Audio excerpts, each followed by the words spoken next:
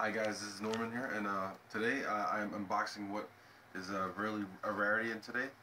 This is the new and improved Apple iPad 3G, the 64 gigabyte version. All you 16 gigabyte Wi-Fi users, you know, good luck with your device. Now we're unboxing it today, and uh, as you can see, this came from uh, directly from uh, Apple's uh, factory in China. As you can see, it's uh, the 64 gigabyte model with iPad and Wi-Fi and 3G. We're going to be opening it right now to show you what this beauty looks like. Let me get you, let me get a tool first. Ah, there we go. Nail clipper. Move back a little bit. Alright. I'll use the file part. and you can see me do it step by step. And yes, this nail clipper has seen many action. Alright, so we're going to slice open the edge right here just to loosen the polyurethane coating. There it peels back nicely. In typical Apple design, the box is uh, nicely, uh, you know, it's nice packaging. Very glossy, matte material. Not your substandard um, products that you see today. Okay. And here we have this beauty here. I've just come out. Here it is. Here we have a 9.7 inch uh, multi-touch, multi-capacitive touchscreen. And how it differs from the iPod, uh, the regular iPad is, you see this bar right here? This is the actual 3G reception bar. Sexy, huh?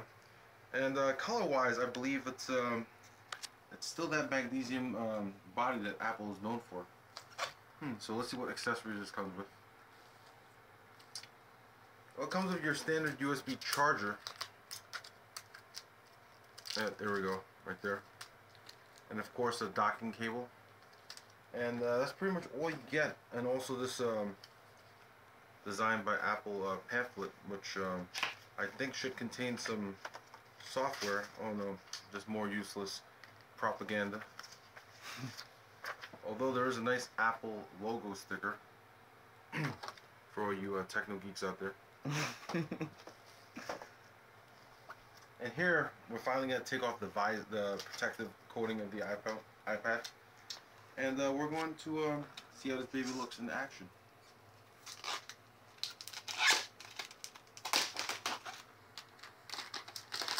Oh yeah.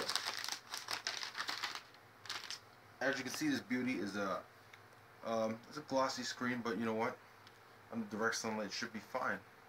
Here you get an idea of the sleekness now, how this differs from the regular iPad is right here is the SIM slot, the micro SIM slot.